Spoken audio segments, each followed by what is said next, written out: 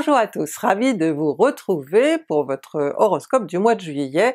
C'est tout nouveau, tout beau, vous allez avoir, euh, chaque signe va avoir son mois, avec, euh, ça sera découpé en rubriques, euh, forme, amour, boulot, et Bien entendu, si vous avez des questions personnelles à poser, comme d'habitude, vous pouvez aller sur Tipeee, et vous pouvez aussi nous retrouver, euh, Zoé et moi, sur euh, les réseaux sociaux euh, Twitter et Instagram. Et n'oubliez pas de vous abonner! Capricorne et ascendant Capricorne, on, on, démarre votre mois de juillet avec la présence du soleil en Cancer, vous savez que c'est ce qui donne le ton du mois, et alors le ton il est résolument euh, tourner vers les autres. Hein. Vous qui êtes plutôt personnel, qui êtes euh, en général assez réservé, là vous allez être obligé, euh, les circonstances hein, vous obligeront à être davantage ouvert aux autres, ouvert à leur sensibilité et parfois même plus attentif à cette sensibilité. bon, si vous êtes du premier décan, tout se passera bien, vous savez que vous avez ce bon aspect euh, d'Uranus qui fait que euh, de toute façon tout ce qui se passe concourt à vous faire progresser, à vous faire avancer dans vos projets. Hein. Donc là, le premier décan vous met de côté. Le deuxième décan euh, du Capricorne, en revanche, vous avez Saturne qui est chez vous, vous le savez, vous le sentez certainement parce que c'est toujours un peu un poids, hein, euh, que ce soit le poids euh, de l'ambition, le poids de l'échec, le poids, euh, même la réussite peut être un poids pour vous, euh, à cause des responsabilités que qui vous incombent. Et on va retrouver ce problème de trop lourde responsabilité euh, avec l'opposition du soleil et de Saturne. Et là vous allez réfléchir, ou quelqu'un va vous faire réfléchir euh, sur justement vos responsabilités, comment peut-être en avoir moins, ou comment vous débrouiller pour qu'elles ne soient pas euh, aussi pesantes, hein, même si ce sont des responsabilités qui sont dues à, au fait qu'on vous a confié euh, quelque chose d'important, euh, vous êtes à la tête d'un service ou on peut tout imaginer. Hein. Donc avec cette opposition Soleil-Saturne, vous, vous, êtes vraiment obligé de faire une pause, hein, et de vous et de réfléchir, et vraiment de, de quand je dis réfléchir, c'est vraiment examiner euh, la situation à la loupe hein, pour voir qu'est-ce que vous pouvez enlever, qu'est-ce que vous devez garder, vous voyez, vous devez faire euh, vraiment un tri et vous concentrer sur l'essentiel, parce que Saturne c'est la planète de l'essentiel. Euh, ça concernera donc le deuxième décan, le troisième décan, on va le voir très rapidement, lui il aura affaire à Mercure. Donc après le 23 juillet, le soleil va se trouver en Lion, euh, qui est un secteur euh, financier de votre thème, alors donc je ne pense pas que vos finances vont être un gros souci pendant le mois d'août, mais il y aura, attention, vous risquez, euh, si vous rentrez de vacances début août par exemple, d'avoir une mauvaise, d'avoir une pas une mauvaise surprise, mais d'avoir une facture au courrier que vous n'attendiez pas, ou un problème d'impôt, enfin bref, euh, il y aura un petit imprévu. On en vient à Mercure, planète qui gère votre quotidien et tout ce qui le compose, hein, c'est-à-dire les rapports avec les proches, les démarches à faire, les rendez-vous, les contact, vous voyez tout ce qu'on fait euh, finalement euh, tous les jours. Et donc Mercure va se trouver en Lion, hein, là où se trouvera le soleil euh, plus tard dans le mois.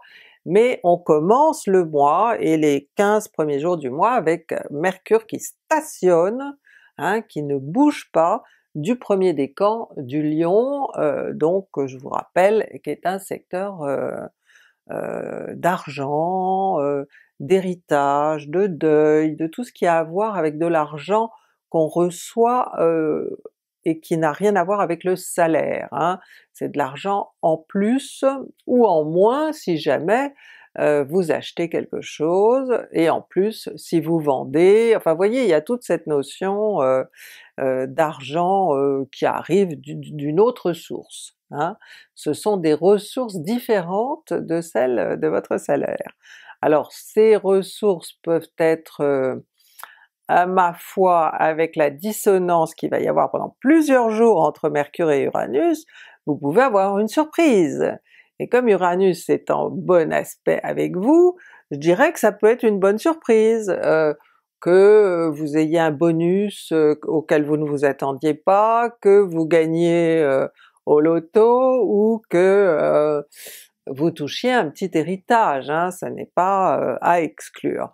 Donc euh, ma foi, vous ne serez pas euh, mécontent de ce Mercure, sauf que le fait qu'elle stationne, bah peut-être que vous l'aurez pas tout de suite, peut-être qu'il y aura des papiers à faire, qu'il y aura... Euh, vous voyez, disons que ça va un petit peu vous énerver parce que vous aimeriez, vous qui n'êtes jamais pressé, bah pour une fois il y aura un peu une notion d'impatience, hein. c'est ce que peut provoquer une dissonance entre Mercure et Uranus, de l'impatience euh, tout simplement.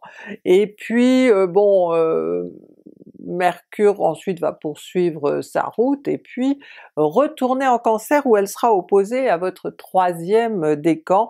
Donc là il y aura des discussions aussi et qui porteront forcément sur le sujet du mois hein, qui est les questions d'argent, de vente ou d'héritage, enfin tout ce dont nous avons parler, et bon là il faudra être dans le compromis, hein, si vous voulez que ça se passe bien, n'essayez pas d'imposer votre vision des choses ou ce que vous voulez, vous laissez parler les autres et ensuite hein, vous trouvez le moyen de, de moyenner, c'est-à-dire de vous accorder.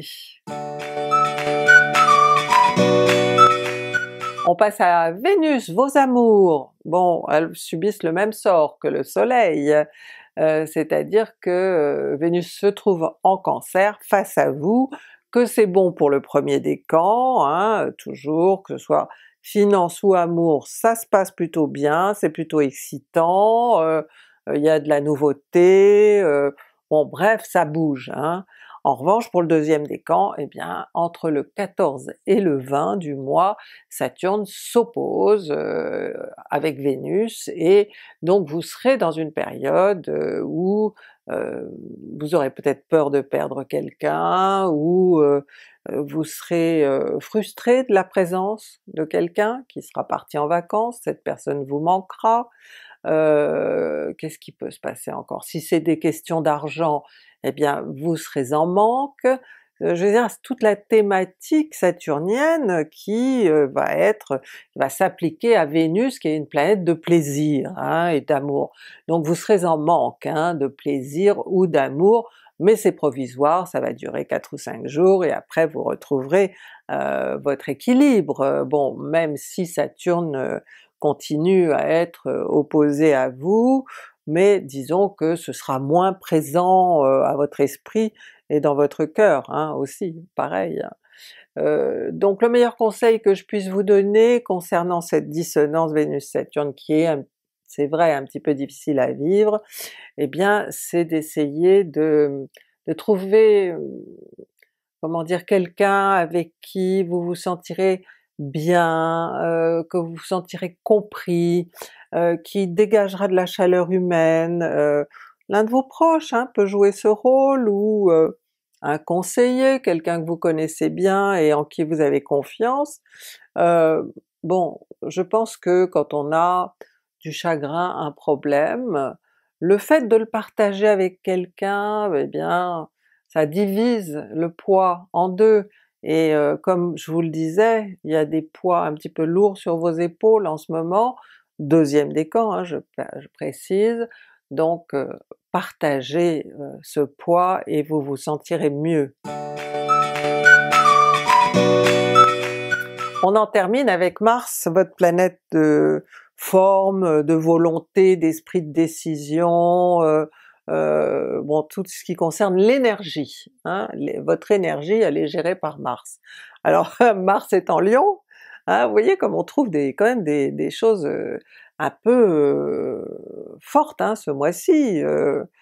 Mars est en Lion, elle va être conjointe à Mercure en début du mois, et au carré en dissonance d'Uranus, donc là aussi votre énergie, eh ben elle va être un petit peu, euh, pas à éclipse, mais disons qu'elle va être liée à votre volonté absolument de, récupérer quelque chose qu'on vous doit, ou euh, d'obtenir quelque chose de quelqu'un, ou de euh, faire tourner une situation à votre avantage, je veux dire tout ce qui est un petit peu de l'ordre de la crise finalement, sera euh, bah, plutôt un stimulant pour vous que autre chose. Hein. Vous n'êtes pas du genre à vous laisser abattre, hein, euh, donc je pense pas. Et là, ça concerne surtout le premier décan, euh, qui, on l'a vu, est plutôt bien servi par les astres. Donc je pense que vous pourrez retourner la situation à votre avantage et euh, faire en sorte que du coup ça va libérer très certainement des énergies, parce que quand on est, si vous voulez, euh, fixé comme ça sur un problème, qu'on voit pas de solution, qu'on voit pas comment en sortir, ben l'énergie elle s'accumule à l'intérieur, parce que l'énergie, on doit l'utiliser euh, pour, euh, pour agir, hein, bien évidemment. Et quand on ne peut pas agir, ben l'énergie s'accumule, ça donne du stress, des maux de tête, des, des, des somatisations, de l'eczéma, des trucs comme ça. Ça c'est quand vous êtes coincé, que vous pouvez pas agir. Hein. Donc ce que je vous conseille vraiment avec ce Mars en Lion, c'est d'être le plus possible dans l'action, même si je vous ai dit qu'il fallait réfléchir, hein, mais ça c'était pour le second décan qui, qui doit réfléchir. Le premier décan, vous pouvez y aller et être dans l'action. Très bonnes vacances à tous, j'espère que vous passerez un bon mois.